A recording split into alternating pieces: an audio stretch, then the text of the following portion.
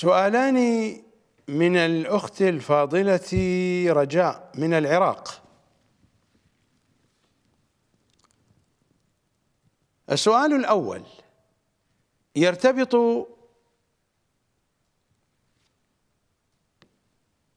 برواية من رواياتهم وأحاديثهم. صلوات الله عليهم. والله ليغيبن غيبة. الحديث عن إمام زماننا صلوات الله عليه. والله ليغيبن غيبة لا ينجو فيها من الهلكة. إلا من ثبته الله عز وجل على القول بإمامته. ووفقه فيها للدعاء بتعجيل فرجه. ما المقصود بالهلكه وهل نحن منهم؟ نحن الشيعة في هذا الزمان وهل نحن منهم؟ يعني تنطبق الرواية علينا إذا لم نكن نحن منهم يا رجاء فمن هم هؤلاء الذين تتحدث عنهم الرواية الشريفة. قطعا نحن منهم.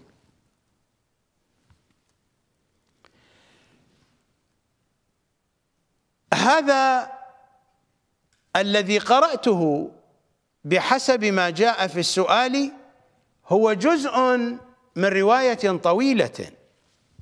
هذه الرواية مذكورة في كمال الدين وتمام النعمة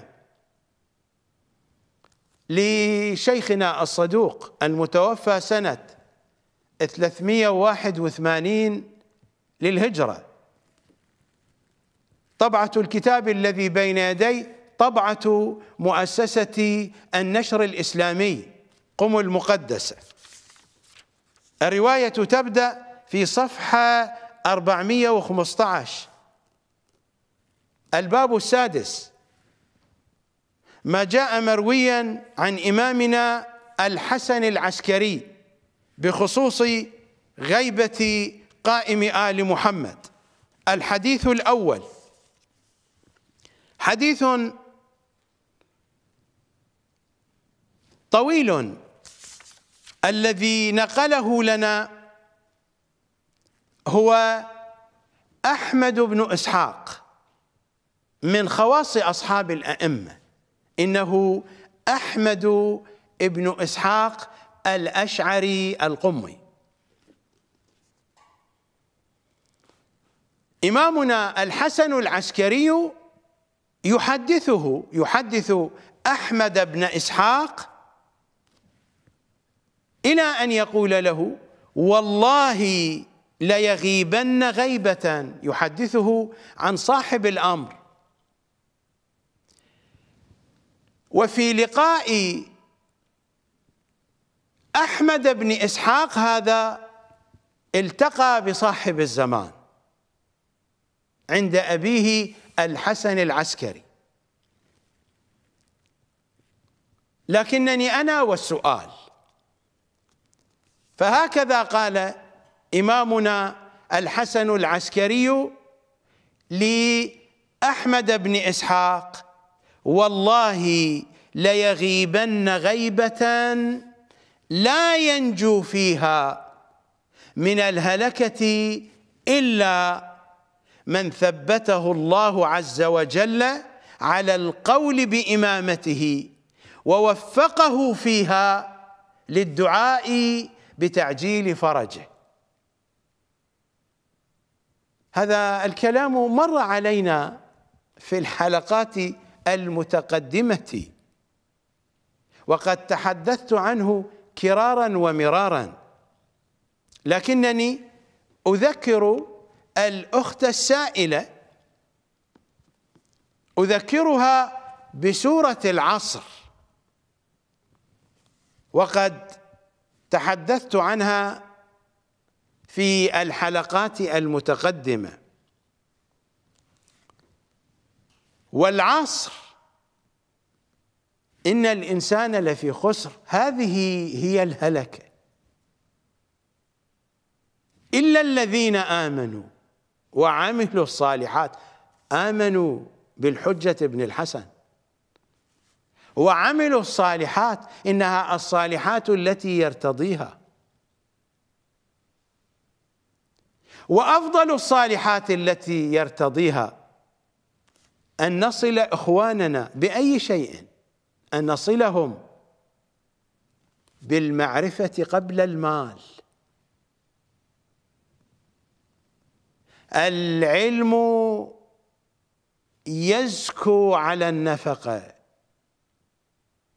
والمال تنقصه النفقة.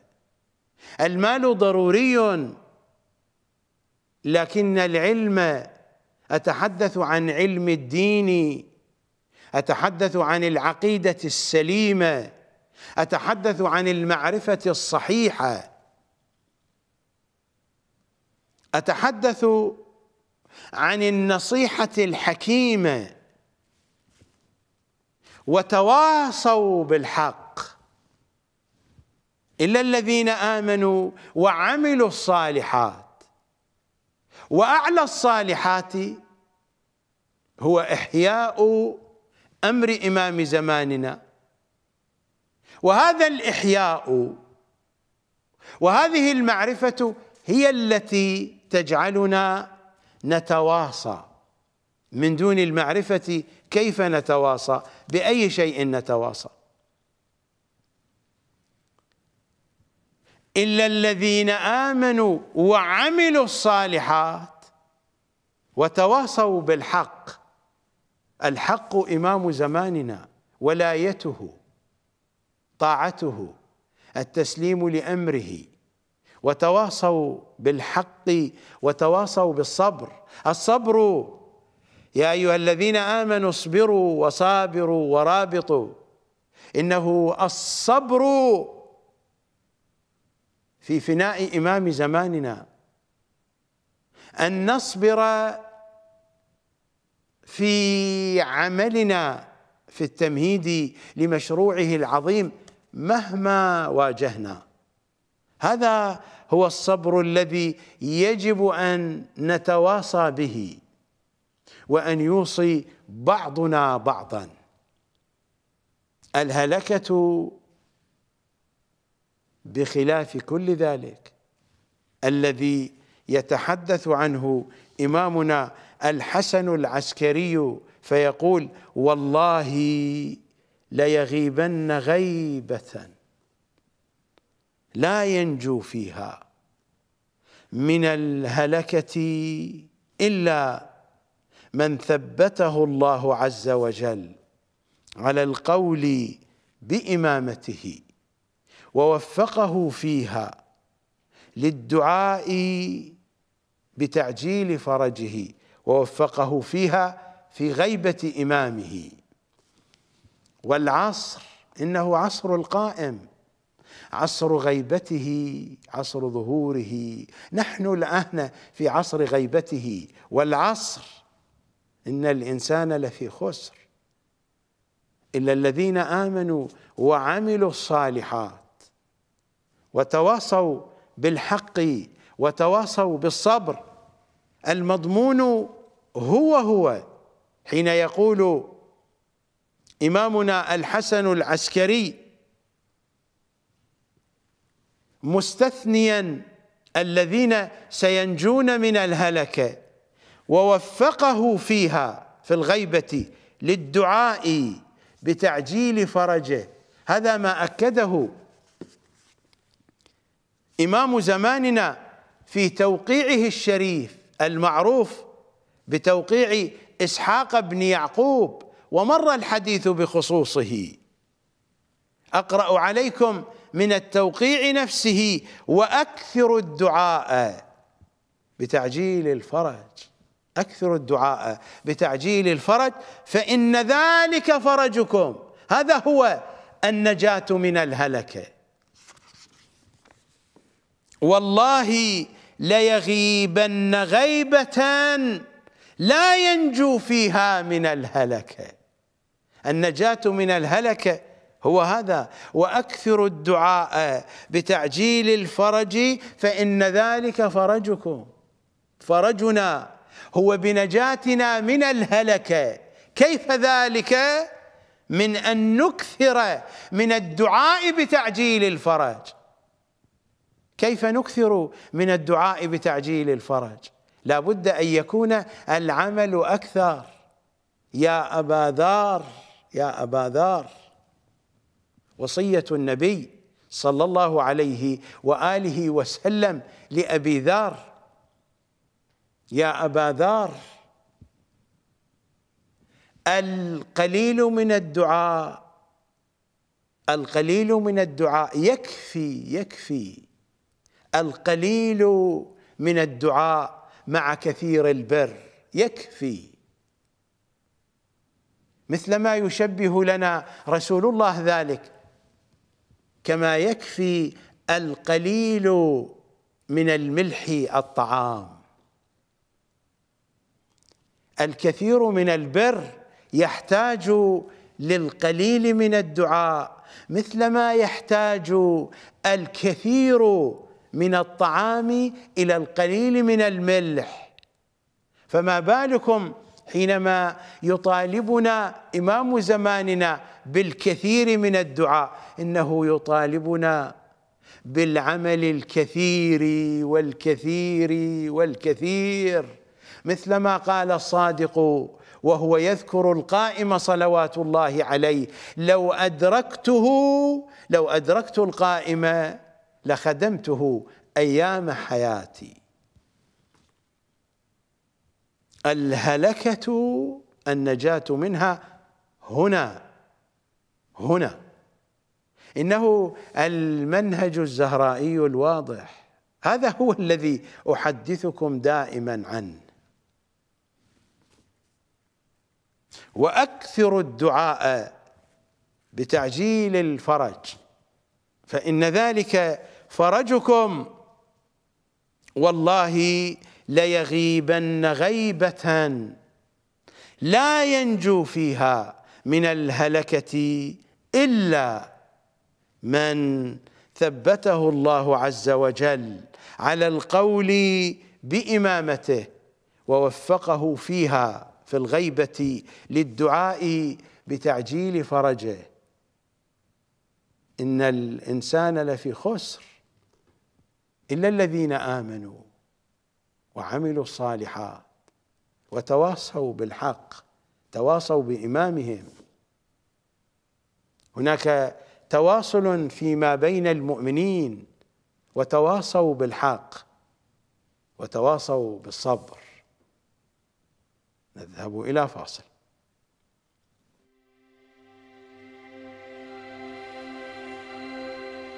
عن جابر الجعفي عن أبي جعفر الباقر صلوات الله عليه.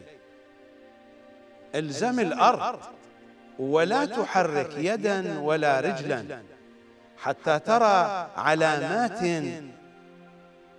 أذكرها لك وما أراك تدرك. اختلاف بني فلان. ومناد ينادي من السماء. ويجيئكم الصوت من ناحية دمشق بالفتح. وخسف قرية من قرى الشام تسمى الجابية وستقبل أخوان الترك حتى ينزلوا الجزيرة. وستقبل مارقة الروم حتى ينزلوا الرملة. فتلك السنة فيها اختلاف كثير في كل أرض من ناحية المغرب. فأول أرض تخرب الشام. يختلفون عند ذلك على ثلاث رايات. راية الأصهب وراية الأبقع وراية السفياني.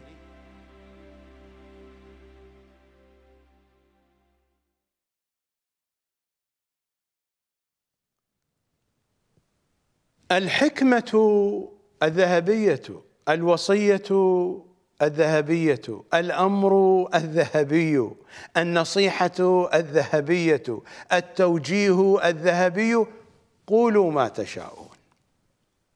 إنه أمر إمام زماننا الحجة بن الحسن.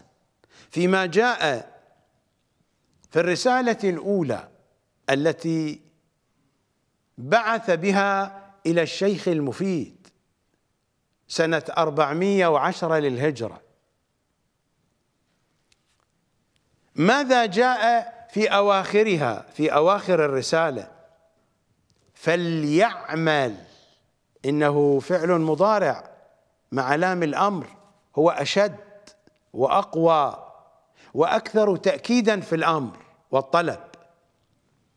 فليعمل.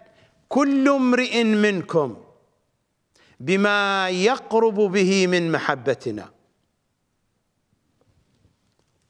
ويتجنب ما يدنيه من كراهتنا وسخطنا. فإن أمرنا بغتة فجاءة حين لا تنفعه توبة. ولا ينجيه من عقابنا ندم على حوبه الحوبة الإثم. الحوبة المعصية والجريمة. حين لا تنفعه توبه ولا ينجيه من عقابنا ندم على حوبه ندم على إثم على معصية على مخالفة واضحة. فليعمل كل امرئ منكم. بما يقرب به من محبتنا ويتجنب ما يدنيه من كراهتنا وسخطنا فإن أمرنا بغتة فجاءة إلى آخر ما جاء في كلمات إمام زماننا. فليعمل كل امرئ منكم بما يقرب به من محبتنا. أول شيء أول شيء أن ننظف عقولنا وقلوبنا من قذارات مراجع حوزة النجف وكربلاء. تريدون أن تتقربوا من إمام زمانكم؟ هو الذي خاطبنا. وأرسل إلى الشيعة رسالته طلب المعارف من غير طريقنا أهل البيت مساوق لإنكارنا.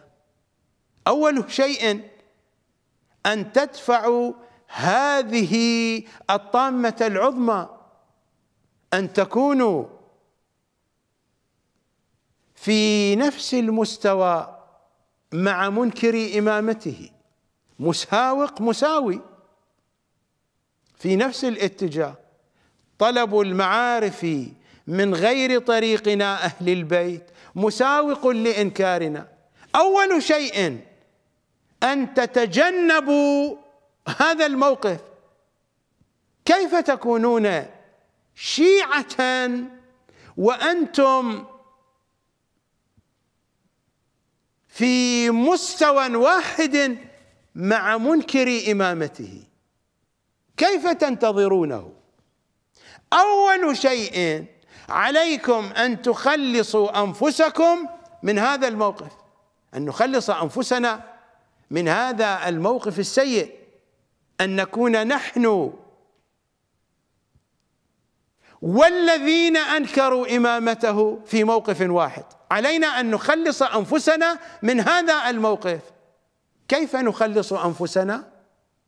أن ننظف عقولنا وقلوبنا من قذارات مراجع النجف وكربلاء من أولهم إلى آخرهم من زمن الطوس إلى يومك هذا. عليك أن تنظف عقلك وقلبك يا أيها الشيعي. كي تكون مستعدا للسير. إلى الآن أنت لست مستعدا للسير. عليك أن تخرج نفسك من ساحة منكر إمامة الحجة بن الحسن. قد تقول من أنني لست منكرا لإمامته هو الذي يقول. يقول من أن الذي يأخذ المعرفة من غير طريقنا هو في نفس المنزلة حينما سيموت يحشر مع أولئك. فتعود القذارة إلى أصلها. فأنت تحمل عقلا قذرا وتحمل قلبا قذرا. ما عندك من حسن من حب إمام زمانك سيسلب منك عند الموت. وستذهب مع قذارتك التي جئت بها من أولئك القذرين من مراجع النجف وكربلاء. كل القذارة عنده. إنها قذارة العيون الكدرة القذرة. الويل لهم الويل لهم. هم لا يعلمون إلى أي جهة متجهون. الويل لهم. إذا كانت عقول الشيعة قد تقذرت فهم قذارة في قذارة في قذارة لكثرة ما عانقوا القذارة ولكثرة ما امتزجوا مع القذارة ولكثرة ما دافعوا عن القذارة ولكثرة ما وقفوا في وجه الذين يريدون أن ينظفوا هذه القذارة وهم يصرون على بقائها. ما أقذرهم؟ ما أقذرهم ما أوسخهم هؤلاء. هذه هي حقيقتهم. فليعمل كل امرئ منكم بما يقرب به من محبتنا. أول شيء نظفوا عقولكم وقلوبكم من قذارات مراجع حوزة النجف وكربلاء خصوصا فيما يرتبط بالعقائد. خصوصا فيما يرتبط بتفسير القرآن. تفسير القرآن الذي تأخذونه من الوائل ومن خطباء المنبر ومن الذين يحدثونكم عن القرآن في الفضائيات. هذا التفسير يقذر عقولكم يقذر قلوبكم. هذا التفسير يفترض أنكم بايعتم في بيعة الغدير على رفضه فكيف تعتقدون به؟ المفترض في بيعة الغدير أنكم بايعتم الله وبايعتم محمدا وبايعتم عليا وبايعتم فاطمة والأئمة المعصومين من المجتبى إلى القائم. بايعتم هؤلاء جميعا على أن ترفضوا تفسير النواصب الذي ينقله لكم الوائلي وخطباء المنبر ممن هم على منهجه. هذه الفضائيات السيستانية والشيرازية تنضح قذارة بهذا التفسير القذري الذي ينقلونه إليكم. عبر الخطباء وعبر البرامج وعبر الذين يفسرون القرآن لكم. هذه هي الحقيقة من الآخر. فليعمل كل امرئ منكم بما يقرب به من محبتنا. إذا أردتم أن تستمعوا إلى أولئك وإلى هذه الفضائيات فبهذه النية كي تعرفوا قذارتهم لأجل أن تتبرأوا منها ولأجل أن تكونوا سببا في توعية الآخرين كي تبينوا لهم القذارة التي تنشر عبر الفضائيات السيستانية والشيرازيه وسائر الفضائيات الشيعية الأخرى. فليعمل كل امرئ منكم بما يقرب به من محبتنا ويتجنب ما يدنيه من كراهتنا وسخطنا. فأنتم حينما تبتعدون عن قذارات هؤلاء المراجع القذرين البتريين من مراجع حوزة الطوسي. حينما تبتعدون عن قذاراتهم إنكم تطبقون أمر إمام زمانكم ويتجنب ما يدنيه من كراهتنا وسخطنا. وحينما تتوجهون إلى معارف أهل البيت التي تتلقونها من قناة القمر أو من أي مكان آخر تجدون معارف أهل البيت فيه فإنكم تعملون كما قال إمام زماننا فليعمل كل امرئ منكم بما يقرب به من محبتنا من معرفتنا من أحاديثنا من تفسيرنا. هذا هو الذي يحببكم إلى إمام زمانكم. هذه هي الحقيقة من الآخر. هل تنتفعون منها؟ هل تتدبرون فيها؟ هذا الأمر راجع إليكم الذي يرتبط بأن أعلمكم أن أبلغكم. أن أعلمكم أن أضع الحقائق بين أيديكم. بقية الأمر ترتبط بكم أنتم. نذهب إلى فاصل.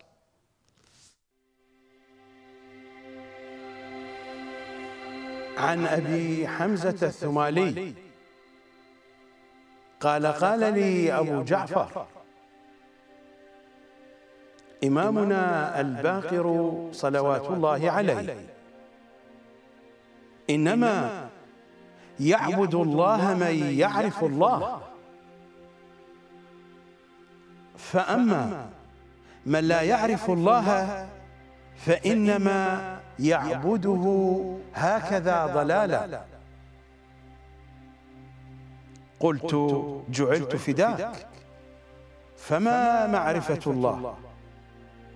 قال تصديق الله عز وجل وتصديق رسوله صلى الله عليه وآله. وموالاة علي صلوات الله عليه. والائتمام به. وبأئمة الهدى. صلوات الله عليهم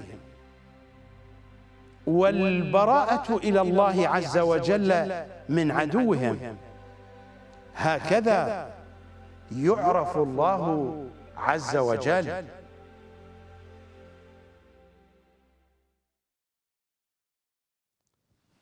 صار واضحا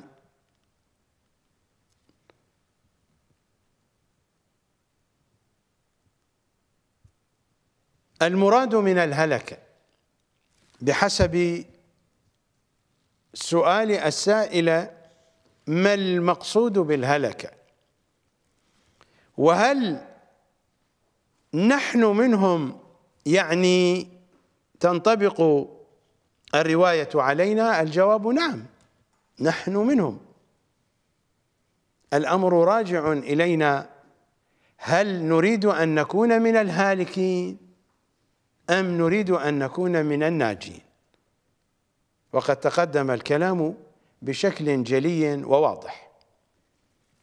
هناك سؤال آخر وهو آخر سؤال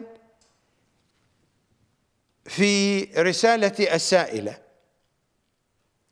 كيف أعرف ويثبت لي بأنني وصلت إلى معرفة الإمام الحجة صلوات الله وسلامه عليه وعرفته معرفة مطلقة. أقول يا رجاء إذا وصلت إلى حالة وأنت تستشعرين من أنك قد عرفت إمامك معرفة مطلقة فهذا يدل على أنك لا تعرفين شيئا من معرفة إمام زمانك أصلا. نحن كائنات مقيدة وقيودنا كثيرة. نحن مقيدون بقيود الطبيعة. نحن مقيدون بقيود أجسامنا. ومقيدون بقيود حاجاتها. أرواحنا حبيسة في زنزانة أجسادنا. هذه الأجساد هذه الأجسام هي زنزانات للأرواح. لكن طبيعة الحياة على الأرض لابد أن تكون بهذه الكينونة.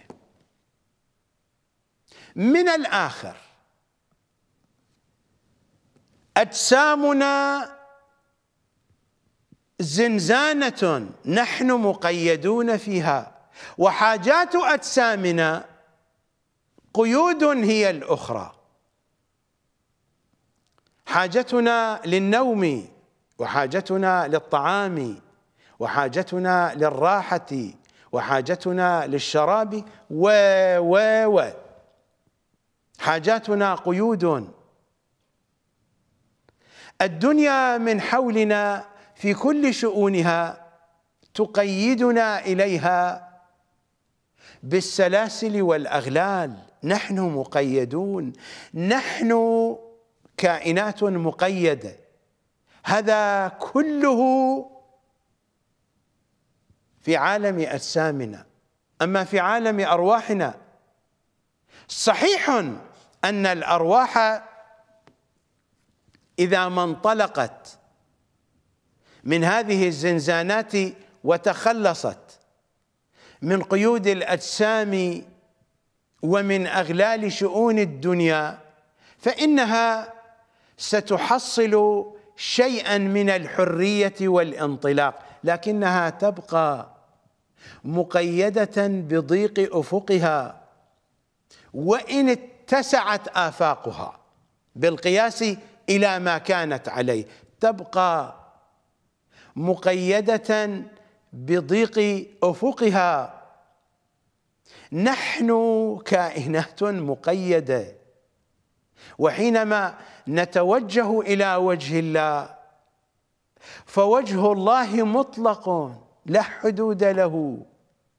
فأن لكائن مقيد صغير لا قيمة له.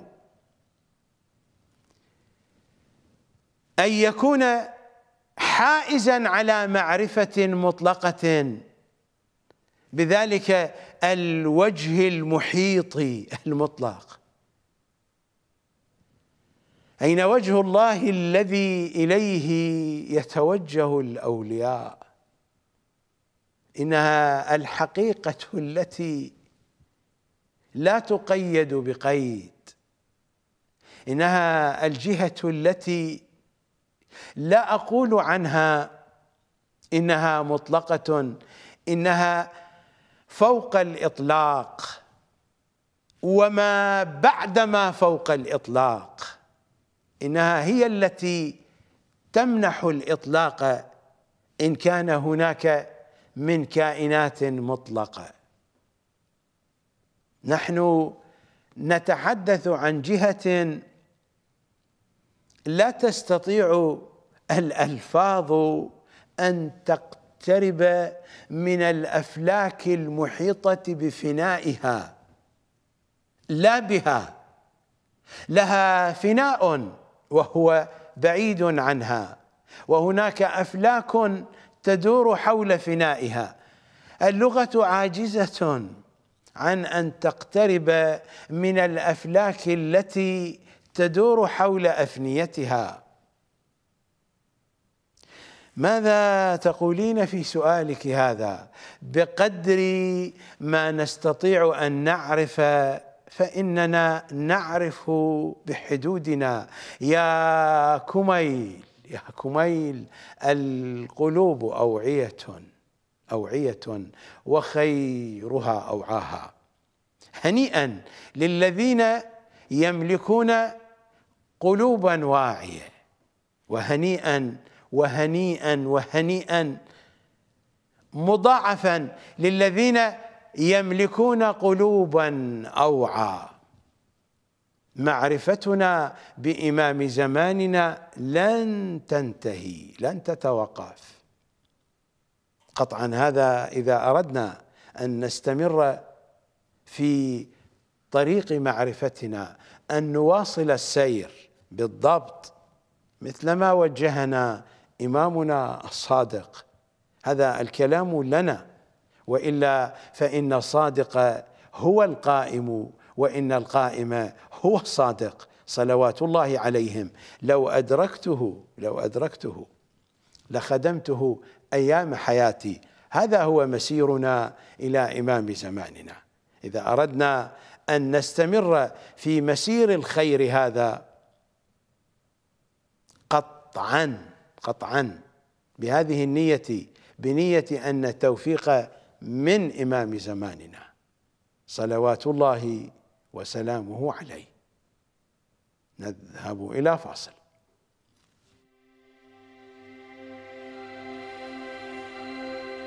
عن أبي حمزة الثمالي. قال قلت لأبي عبد الله الصادق صلوات الله عليه. إن أبا جعفر عليه السلام كان يقول إن خروج السفياني من الأمر المحتوم. قال لي نعم. واختلاف ولد العباس من المحتوم. وقتل النفس الزكية من المحتوم. وخروج القائم عليه السلام من المحتوم. فقلت له فكيف يكون النداء؟ قال ينادي مناد من السماء أول النهار. ألا إن الحق في علي وشيعته. ثم ينادي إبليس لعنه الله في آخر النهار. ألا إن الحق في السفياني وشيعته. فيرتاب عند ذلك المبطلون.